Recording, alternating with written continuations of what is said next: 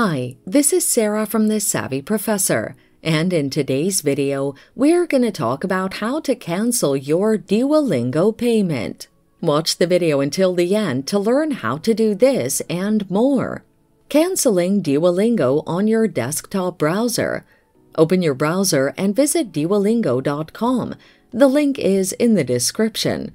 Click I already have an account and use your credentials to log in. Tap your username at the top right corner and select Settings. Choose Super Duolingo. Click Cancel Subscription.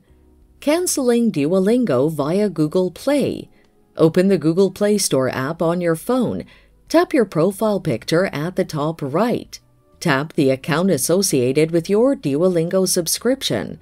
Click Payments and Subscriptions. Find Duolingo and click Cancel Subscription. Confirm the cancellation.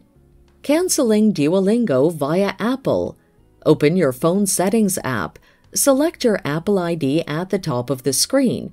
Click View Apple ID. Go to Subscriptions. Find Duolingo and click Cancel Subscription. Click Confirm to complete the process. Canceling Duolingo via the app. These steps work for iOS and Android devices. Open the Duolingo app. Tap the Super Duo icon. Tap the Settings icon in the top right corner. Select Manage Plan. Click Change Plan. Select Cancel Subscription. Confirm your cancellation. So, there you have it. Follow these steps to cancel your Duolingo payment.